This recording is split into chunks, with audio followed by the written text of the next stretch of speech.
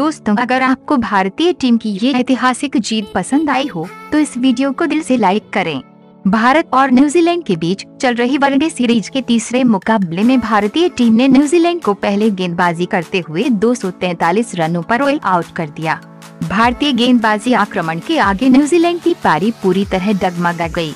New Zealand कप्तान Kane Williamson ने toss जीतकर पहले बल्लेबाजी करने का निर्णय लिया था। लेकिन उनका ये निर्णय गलत रहा और न्यूजीलैंड की पारी 250 रनों का आंकड़ा भी पार कर न पाई। भारतीय टीम की तरफ़ से सबसे ज़्यादा तीन विकेट्स मोहम्मद शमी ने लिए। उनके बाद भुवनेश्वर कुमार, यजुवेंद्र चहल और हार्दिक पांड्या ने दो दो विकेट लिए। उसके बाद आई भारतीय टीम की शुरुआत ठीक ठाक रही। रोहित शर्मा और शिखर धवन ने पहले विकेट के लिए उनतालीस रन जोड़े। उसके बाद पहला विकेट शिखर धवन का मिला। उनके बाद आए विराट कोहली और रोहित शर्मा के बीच बेहतरीन पार्टनरशिप हुई।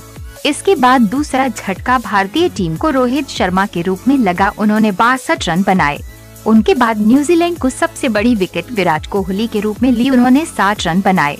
उनके बाद आए अम्बाती रायडू और दिनेश कार्तिक ने बेहतरीन साझेदारी करते हुए भारतीय टीम को एक आसान सी जीत दिला दी। भारतीय टीम ने ये मुकाबला जीत कर इतिहास रच दिया।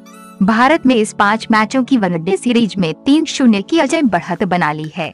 भारतीय टीम ने ये मुकाबला जीत कर सीरीज़ पर अपना कब्जा कर लिया है और साथ ही साथ पिछले 10 साल से न्यूजीलैंड में पहली बार भारतीय टीम ने वनडे सीरीज़ जीती है।